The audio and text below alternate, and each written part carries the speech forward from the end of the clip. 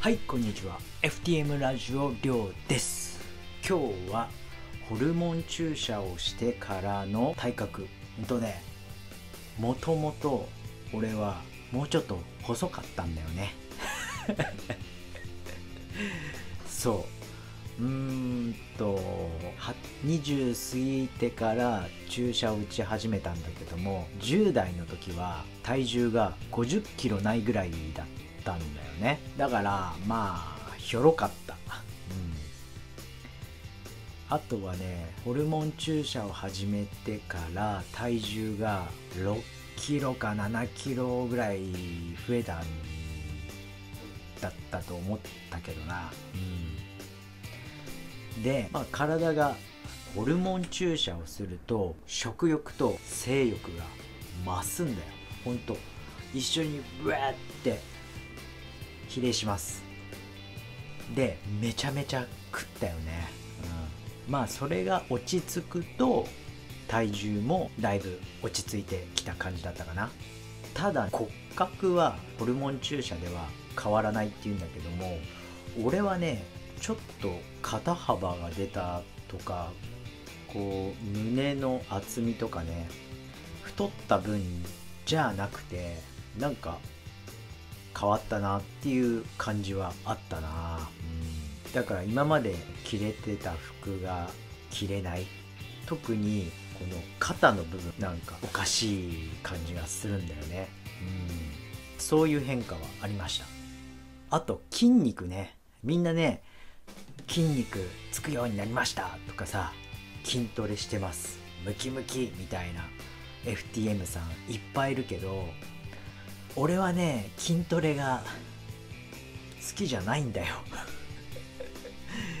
だからうーん俺はあんまり筋肉つくなーって感じはしない。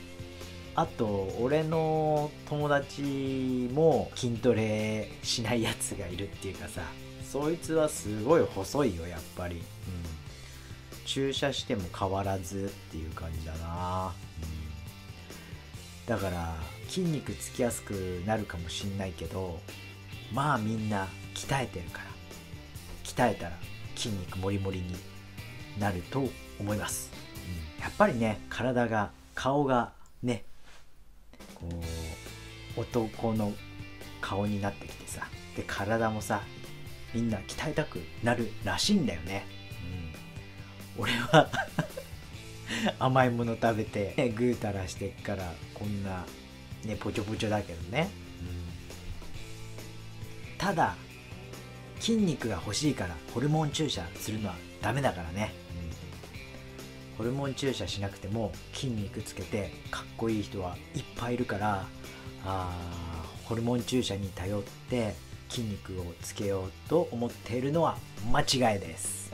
あの副作用がいっぱいあるからよく考えてね治療するのかしないのかこれから自分はどうやって生きていくのかっていうところまでよく考えてから治療に臨んでほしいなとおじさんは思います。あとはねそうだな血液検査だよね。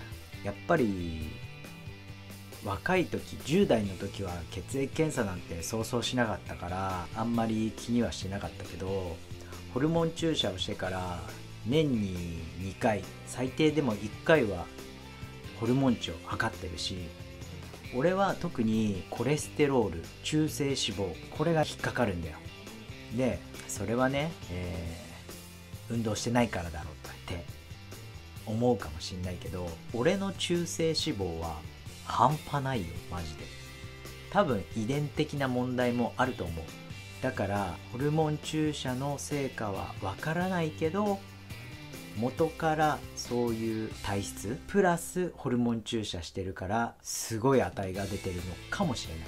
だからねそういうところはちゃんと病院に通ってね薬もしっかりと飲んでます。俺はねだいたい血液検査は3ヶ月に1回ぐらいやってるからうん。